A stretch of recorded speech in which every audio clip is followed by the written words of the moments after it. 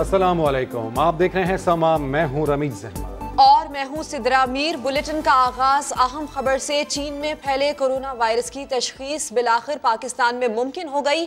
تشخیصی آلات جو پاکستان پہنچ گئے ہیں تشخیصی ٹیسٹ قومی ادارہ برائے صحت میں ہوں گے۔ جی ہاں اگلے مرحلے میں دیگر بڑے شہروں میں بھی یہ سہولت دستیاب ہوگی۔ اسلام آباد سے ارحم خان کی رپورٹ۔ چین سے مزید ایک پاکستانی طالب علم وطن واپس پہنچ گیا۔ چین میں کرونا وائرس کے وار۔ مختلف چینی شہروں سے پاکستانی شہریوں کی واپسی کا سلسلہ جاری۔ ایک اور طالب علم وطن واپس آ گیا۔ گھوٹ کی پہنچنے والے باسط علی نے بتایا کہ بیجنگ میں تین ہزار سے زائد پاکستانی طلبہ مقیم ہیں۔ ہم آئے اپنے خاندان شہر سے بیجنگ بیجنگ سے ہم آئے سری لنکن ایئر لائن اور پہلے سری لنکن گئے، سری لنکا گئے۔ ہیں وہاں سے ہم کراچی ایئرپورٹ تک آئے۔ وہاں سے درمیان ہمارا جو اسکریننگ ہوئی ہے، باقاعدہ چیک اپ ہوئی ہے اور ہم ابھی الحمدللہ سیف ہی گزشتہ شب بھی دو طالب علم چین سے کراچی پہنچے تھے۔ کراچی سے تعلق رکھنے والے جاوید کا کہنا تھا، چین اور پاکستان دونوں ہوائی اڈوں پر میڈیکل جانچ کے بعد انتظامیہ نے جانے کی اجازت دی۔ ٹیسٹ تو سیم ہو رہے ہیں بس وہاں پر بھی ہمارا ٹمپریچر چیک کیا اور یہاں پر بھی ہمارا ٹمپریچر چیک کیا۔ جو کراؤڈ پلیس میں جاتے ہیں وہ بس یہ ماسک لگا کے جائیں کہ ان کو انفیکٹ نہ کریں۔ ٹھٹا کے رہائشی عبد الاحد نے بتایا کہ وائرس سے محفوظ رہنے کے لیے وہ ہاسٹل میں محدود ہو کر رہ گئے تھے۔ ہم لوگوں کو یونیورسٹی نے یہ کہا تھا کہ اگر آپ لوگوں کو پاکستان جانا ہے تو آپ جا سکتے ہیں۔ کیونکہ ہم نے یہ ہماری جو لوکل گورنمنٹ ہے اس نے یہ اعلان کیا تھا کہ آپ کی چھٹیاں جو ہے وہ ایکسٹینڈ کر دی جائیں گی۔ طالب علموں کا کہنا ہے کہ کرونا وائرس سے چین میں تمام لوگ خوف زدہ ہیں اور معمولات زندگی بری طرح متاثر ہیں۔ اور کرونا وائرس کی ٹینشن ختم نہیں ہوئی تھی کہ چین میں برڈ فلو کی وبا پھوٹ پڑی۔ جنوبی صوبے ہونان میں شہر شایویانگ ایک پولٹری فارم میں چار ہزار پانچ سو مرغیاں مر گئیں۔ یہ شہر کرونا وائرس کے متاثرہ ووہان کے جنوب میں واقع ہے۔ حکام نے فوری طور پر متاثرہ علاقہ سیل کر دیا ہے۔ کشمیر ہمارا ہے اور سارے کا سارا ہے۔ اسلام آباد میں تقریب سے خطاب میں وفاقی وزیر برائے مواصلات مراد سعید کا دو ٹوک اعلان کہا۔ کشمیر کا فیصلہ کشمیریوں کی خواہشات کے مطابق ہوگا۔ پانچ فروری کو کشمیریوں سے اظہار یکجہتی کے لیے دنیا بھر میں پاکستانی سڑکوں پر نکلیں گے۔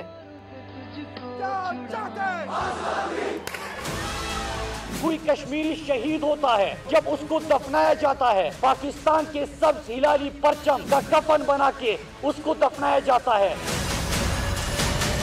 جنازے میں ایک ہی نعرہ ہوتا ہے ہم پاکستانی ہے پاکستان ہمارا ہے۔ ہم سب نے بھی کہنا ہے کشمیری ہمارے ہے کشمیر بھی ہمارا ہے۔ خان کا کیا پیغام؟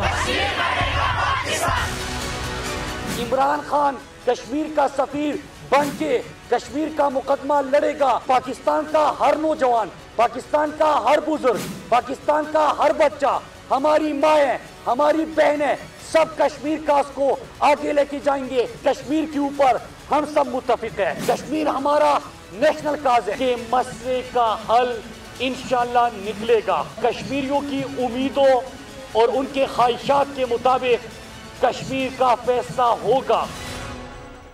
کشمیر کمیٹی کے چیئرمین سید فخر امام کہتے ہیں، مودی سرکار چھ ماہ سے کشمیر میں دہشت گردی کر رہی ہے۔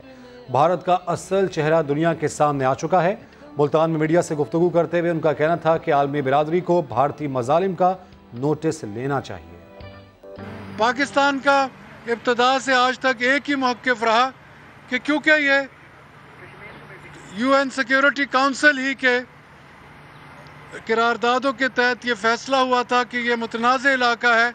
اس کا فیصلہ بین الاقوامی سطح پر یونائٹڈ نیشنز کے تحت ہی اس کا بذریعہ ووٹ فیصلہ ہوگا۔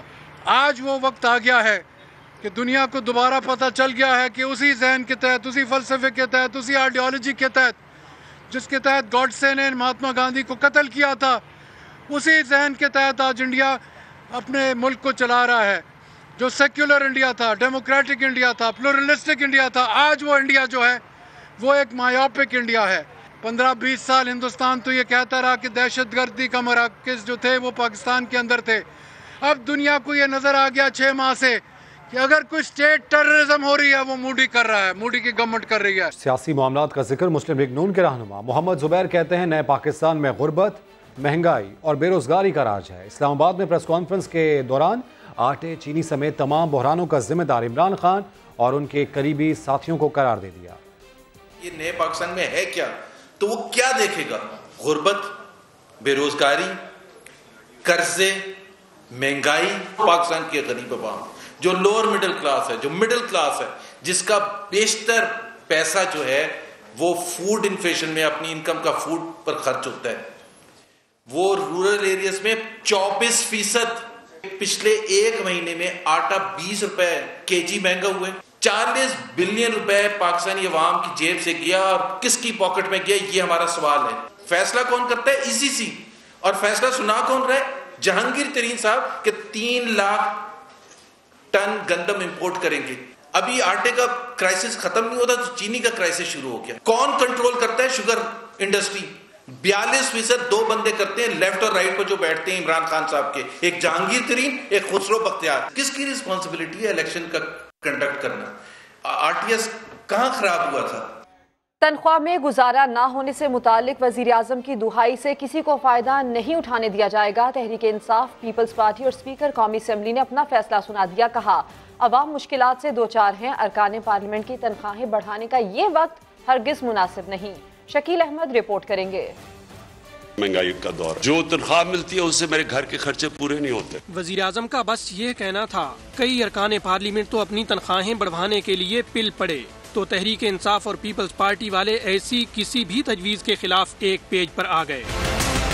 تنخواہوں میں سو سے چار سو فیصد تک اضافے کے لیے سینٹ میں پیش ترمیمی بل پر اسپیکر قومی اسمبلی اسد قیصر کہتے ہیں۔ وزیر اعظم کی مربوط معاشی پالیسیوں کی بدولت ملک معاشی بحران سے نکل ضرور رہا ہے، لیکن ابھی پوری طرح نکلا نہیں۔ اس لیے تنخواہیں بڑھانے کا یہ وقت ہرگز مناسب نہیں۔ وفاقی وزیر اسد عمر نے ٹویٹ پیغام میں کہا، ملکی خزانے میں اگر کوئی گنجائش ہے تو اسے عوامی ریلیف کے لیے استعمال کیا جائے، نہ کہ تنخواہیں بڑھانے کے لیے۔ پی ٹی آئی رہنما فیصل جاوید بھی مجوزہ بل کے شدید مخالف۔ کہا وزیر اعظم نے کفایت شعاری کا آغاز اپنی ذات سے کر کے قومی خزانے کے تحفظ کی مثال قائم کی اور پوری پارٹی ان کے ساتھ کھڑی ہے۔ جبکہ جیالی سینیٹر شیری رحمان کہتی ہیں، عوام ایک بہت بڑے معاشی بحران میں دھنسے ہیں۔ مشکل وقت میں پیسہ عوامی نمائندوں کی تنخواہیں بڑھانے پر لگانے کی نہیں، بلکہ عوامی مسائل کے حل پر خرچ کرنے کی ضرورت ہے۔ وزیر اعلیٰ پنجاب عثمان بزدار کے حامی اور مخالف گروپ میں کھینچا تانی جاری ہے۔ کافلیگ سے مذاکرات کرنے والی کمیٹی میں تبدیلی کی وجہ بھی پی ٹی آئی کی اندرونی گروپ بندی بنی۔ جہانگیر ترین کمیٹی بدلنے پر خوش نہیں، گورنر پنجاب کی شمولیت بھی کئی سوالات کو جنم دینے لگی۔ رپورٹ کریں گے لاہور سے نئی مشرف بارٹی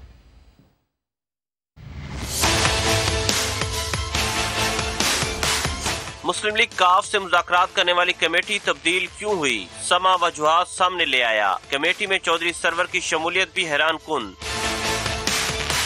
ذرائع کے مطابق مذاکراتی کمیٹی میں تبدیلی کی وجہ پی ٹی آئی کی اندرونی گروپ بندی ہے۔ عثمان بزدار کے مخالف اور امایتی گروپ میں کھینچاتانی ختم ہونے کا نام نہیں لے رہی۔ نئی مذاکراتی کمیٹی بنا کر تبدیلی کی خواہش مند گروپ کو پیغام دیا گیا ہے۔ ناراض گروپ عثمان بزدار کو بیڈ گورننس کی وجہ قرار دے رہے ہیں اور اس گروپ کے دو ارکان گزشتہ دنوں اسلام آباد میں اہم ملاقاتیں بھی کر چکے ہیں۔ ناراض گروپ اور کافلی کی حکومت پر سخت تنقید نے بھی شکوک و شبات کو جنم دیا ہے۔ کمیٹی کی تبدیلی پر جہانگیر ترین بھی حکومت سے خوش نہیں۔ کاف لیگ سے مذاکرات کرنے والی کمیٹی میں عثمان بزدار اور شفقت محمود کے ساتھ چودھری سرور کی شمولیت بھی سوالات کو جنم دے رہی ہے۔ گورنر پنجاب کی کاف لیگ سے ماضی میں کھینچتانی کسی سے ڈھکی چھپی نہیں ہے۔ نیم اشرف بٹ، سما، لاہور۔ اور ایسے میں خبر یہ بھی آ رہی ہے کہ اتحادی حکومت کے معاملات پر غور کے لیے مسلم لیگ کاف کا ہنگامی اجلاس آج طلب کر لیا گیا ہے۔ اجلاس میں حکومتی اتحاد کے معاملات پر کمیٹی کی تبدیلی پر غور کیا جائے گا۔ اسی پر اپڈیٹس حاصل کریں گے سما کے نمائندے عباس شبیر سے۔ عباس، آج کے اجلاس میں کیا حکمت عملی طے کیے جانے کا امکان ہے کاف لیگ کی جانب سے؟ دیکھیں میری اطلاعات کے مطابق جو حکومت کے ساتھ اتحادی اور ان کے جو وعدے تھے، اس پر جو عمل دراوت کا معاملہ، تو اس حوالے سے ایک اہم اجلاس جو ہے، وہ چوہی شجاعت حسین کے زیر صدارت شروع ہو چکا ہے چودھری پرویز الہی اور مولا صلاحی بھی اجلاس میں شریک ہیں مسلم لیگ کاف کی قیادت اتحاد کے معاملات پر جو ہے، وہ مشاورت کی جا رہی ہے۔ حکومتی کمیٹی تبدیل کرنے پر مسلم لیگ کاف نے جو تحفظات کا اظہار کیا تھا اس پر بھی بات چیت کی جا رہی ہے جبکہ طریقے انصاف کی جانب سے کیے گئے وعدوں پر عمل درآمد پیش رفت بارے میں بھی آج کے اس اجلاس میں مشاورت ہوگی۔ چوہی شجاعت یہ کہتے آ رہے ہیں کہ تنقید نہیں کرتے لیکن بہتری کے لیے تجاویز دیتے ہیں لیکن ساتھ ساتھ جو حکومت نے اتحادیوں کے ساتھ جو وعدے کیے ہیں اس پر بھی ابھی تک عمل درآمد نہیں ہوا۔ یہ مسلم لیگ کاف کے تحفظات ہیں اور اس حوالے سے ٹھیک ہے موجودہ حالات کے تناظر میں یہاں اجلاس ہے جو کہ اب شروع ہو چکا ہے۔ اپڈیٹس کے لیے بے شکریہ عباس۔ گورنر پنجاب چودھری محمد سرور کہتے ہیں کہ اتحادیوں میں اونچ نیچ ہوتی رہتی ہے اتفاق رائے نہ ہونے کا مطلب یہ نہیں کہ جھگڑا ہو گیا ہے۔ کسی اتحادی نے حکومت گرانے کی بات نہیں کی لاہور میں میڈیا سے گفتگو میں انہوں نے کہا کہ آئندہ بلدیاتی الیکشن اور عام انتخابات اتحادیوں کے ساتھ مل کر لڑیں گے۔ اتفاق رائے نہ ہونا اس کا مطلب یہ نہیں ہے کہ کوئی لڑائی ہو گئی ہے، جھگڑا ہو گیا ہے، بہت بڑی بات ہو گئی ہے۔ اتحادیوں میں کئی چیزوں پہ اختلاف رائے ہوتا ہے۔ اختلاف رائے یار زندگی کا حصہ ہے۔ چاہے ایم کیو میں ہے، کراچی میں، بلوچستان، عوامی پارٹی ہے، چاہے کیو لیگ ہے، پنجاب۔ کسی ایک بھی جماعت نے یہ نہیں کہا کہ ہم حکومت کو گھرانا چاہتے ہیں۔ چودھری بران ساتھ ہمارے تعلقات بڑے اچھے ہیں۔ تمام ایشوز جو ہیں اتحادیوں کے ساتھ خوش اسلوبی سے ہم ان کو حل کریں چودھری شجاز صاحب کا اور پرویز علائی کے جو بیانات ہیں بہت میچور انہوں نے بات کہی ہے۔ کہ اتحاد کے ٹوٹنے سے ہم دونوں کا نقصان ہوگا۔ ہم تو یہ چاہتے ہیں کہ لوکل گورنمنٹ کا جو الیکشن آ رہا ہے انشاءاللہ اس میں بھی ہم اتحادی بن کر الیکشن لڑیں گے۔ اور جب اگلا جنرل الیکشن آئے گا تو اس میں بھی انشاءاللہ اتحادی بن کے ہم الیکشن لڑیں گے۔ دوسری جانب اتحادیوں کو منانے کے لیے پی ٹی آئی کی ایک اور کوشش چیئرمین سینٹ صادق سنجرانی بہادرآباد کراچی میں ایم کیو ایم مرکز کا دورہ کیا۔ صادق سنجرانی کی آمد پر خالد مقبول صدیقی نے کہا بہت دیر کی مہرباں آتے آتے۔ مزید جانتے ہیں۔ خورشید عالم کی اس رپورٹ میں اتحادی جماعت کو کیسے منائیں؟ پی ٹی آئی کے جتن جاری کسی سے بات نہ بنی تو ایم کیو ایم کو منانے۔ چیئرمین سینٹ صادق سنجرانی کراچی میں بہادرآباد مرکز آ پہنچے۔ مسافے ہوئے بیٹھک لگی اور مزے مزے کے کھانے کا دور بھی چلا۔ صادق سنجرانی کو دیکھ کر خالد مقبول صدیقی کہنے لگے۔ جس پر جواب ملا، ہم چاہتے ہیں آپ ہمارے ساتھ رہیں۔ فیصل سبزواری نے کہا کہ ہماری بھی یہی خواہش ہے۔ ملاقات کے بعد میڈیا سے گفتگو میں چیئرمین سینٹ نے کہا وہ پاکستان کے لیے کسی بھی دروازے پر جانے کے لیے تیار ہیں۔ پاکستان کی جام بہتری کی ہوگی، عوام کی بہتری کی ہوگی میں حاضر ہوں کسی بھی پارٹی، کسی بھی بندے، کسی بھی، کسی بندے کے گھر بھی جانے کے لیے۔ لیکن خالد مقبول صدیقی نے صادق سنجرانی کی آمد کو تاخیر قرار دیا۔ کہا، پھر بھی صوبے کے مسئلے کے حل کے لیے آواز اٹھاتے رہیں گے۔ پاکستان کی عوام کے ساتھ سندھ کے شہری علاقوں کی عوام کا ایک تعلق رہا ہے۔ جب بھی وہاں پر کوئی بھی زیادتی ہوئی ہے، اس پہ آواز سندھ کے شہری علاقوں نے ضرور اٹھائی ہے۔ خصوصاً ایم کیو ایم نے اٹھائی اور آج کا ان کی یہاں آمد سے یہ وعدہ بھی رہا ہے۔ کہ یہ ہمارے مسئلوں پر اور ہم ان کے جائز مسئلوں پر مل کر آواز اٹھاتے رہیں گے۔ چیئرمین سینٹ صادق سنجرانی بھی آئے اور ملاقات کے بعد روانہ ہو گئے۔ تاہم ایم کیو ایم کی ناراضگی اتنی جلدی ختم ہوتی دکھائی نہیں دیتی۔ کیمرامین کامران الدین کے ساتھ خورشید عالم سما کراچی۔ بلدیاتی انتخابات سے پہلے کراچی کے سب سے بڑے بلدیاتی ادارے کے ایم سی میں ایک ہزار افراد کو بھرتی کرنے کی تیاری اخبار میں اشتہار دے دیا گیا۔ اس بارے میں مزید جانیں گے محمد علی حفیظ سے۔ علی یہ بتائیے گا کہ اچانک کے ایم سی میں بھرتیوں کی کیا ضرورت پیش آ گئی؟ جی بالکل کراچی کا موجودہ بلدیاتی سیٹ اپ جو ہے کچھ مہینے بعد جو ہے وہ اقدام ہونے والا ہے، اپنی مدت پوری کرنے والا ہے۔ ایسے میں جو ہے بلدیہ عظمہ کراچی کراچی میٹرول کارپوریشن میں ایک ہزار افراد کو بھرتی کرنے کی جو ہے، وہ تیاری شروع کر دی گئی ہے۔ باقاعدہ اخبار میں اشتہار دیا گیا ہے کہ درخواست طلب کر لی گئی ہے۔ ایک سے چار گریڈ کی جو ہے، یہ بھرتیاں کی جائیں گی۔ اس میں سیکورٹی گارڈ ہیں، زو کیپر ہے لفٹ آپریٹر ہے اور دیگر اسامیوں پر جو ہے، بھرتیاں ہوں گی۔ جو ہماری بات ہوئی کہ ایم سی انتظامیہ کی، ان کا یہ کہنا ہے کہ یہ بھرتیاں کر کے جو ہے موجودہ بلدیاتی سیٹ اپ اقدام پذیر ہوگا۔ لیکن جو اپوزیشن ہے، سٹی کونسل میں، ان کا یہ کہنا ہے کہ سیاسی بھرتیاں ہیں یہ۔ میئر اپنی جماعت تعلق والے ورکرز کو جو ہے کیمپس میں بھرتی کرنا چاہتے ہیں اور ماضی میں بھی جو ہے یہی حال ہوا ہے بلدیاتی اداروں میں سیاسی کارکن بھرتی کیے گئے ہیں اور وہ کام جو ہے سیاسی جماعت کے لیے کرتے تھے اداروں کے لیے نہیں کرتے تھے یہی وجہ کہ بلدیاتی اداروں کی کارکردگی جو ہے وہ تباہی کا شکار ہے اور کارکردگی جو ہے خراب ہے۔ اب دیکھنا یہ ہے کہ انتہائی اہم معاملہ ہے سب سے بڑا ادارہ ہے میئر کراچی کہتے ہیں اختیارات نہیں ہے وسائل نہیں ہے بالکل ٹھیک۔ معاملے کی تفصیل فراہم کرنے کے لیے آپ کا شکریہ علی حفیظ۔ پی ٹی آئی رہنما حلیم عادل شیخ نے وزیر اعلیٰ پر کڑی تنقید کی کہا گورنر چپڑاسی تبدیل نہیں کروا سکتا تو آپ نے کون سا آئی جی ہٹوا لیا؟ حلیم عادل نے سندھ حکومت کے انوکھے گودام کا بتانے پر سما کا شکریہ بھی ادا کیا۔ ڈرامہ بنایا گیا۔ جائیے سوئیں باہر راوی کے پل کے کنارے سو جاؤ۔ سو جائے میاں صاحب اپنی فیملی سمیت جائیں لیٹے وہاں۔ شباز شریف ٹوپی لگا لو اجازت ہے تمہیں۔ بلاول صاحب جائیے۔ ایک دن جناح اسپتال کے باہر رات گزاری سردی میں۔ پتا چلے گا پناہ گاہ کیا ہے۔ ساری شارٹیج سندھ سے آئی۔ پیپل پارٹی کے چوہے آٹا کھا گئے۔ ان کے وزیر آٹا کھا گئے۔ ان کے مشیر آٹا کھا گئے۔ شکریہ سما ٹی وی کا۔ ایک ایشو بتایا کہ جی چودہ کروڑ کی گندم رکھنے کے لیے چھتیس کروڑ کرایہ دے دیا گیا۔ وزیر صاحب، یہ دس سال کس کو دیے پیسے؟ کل ایک خط لکھ دیا، تیسرا مراد علی شاہ صاحب کی چٹھی، غیر قانونی بھی ہے، غیر آئینی بھی ہے۔ شاہ صاحب، خط کس لیے لکھنے کی ضرورت پڑ گئی؟ آپ کی تو بڑی ملاقاتیں جاری تھیں۔ آپ تو فرماتے تھے کہ سب کچھ ہو گیا، آج گیا کہ کل گیا کل گیا کہ پرسوں گیا۔ آئی جی تو بیٹھا ہوا ہے۔ شاید گورنر صاحب کسی چپڑاسی کو بے شک ٹرانسفر نہ کر سکتے ہو آئی جی کو آپ بھی ٹرانسفر نہیں کر سکتے۔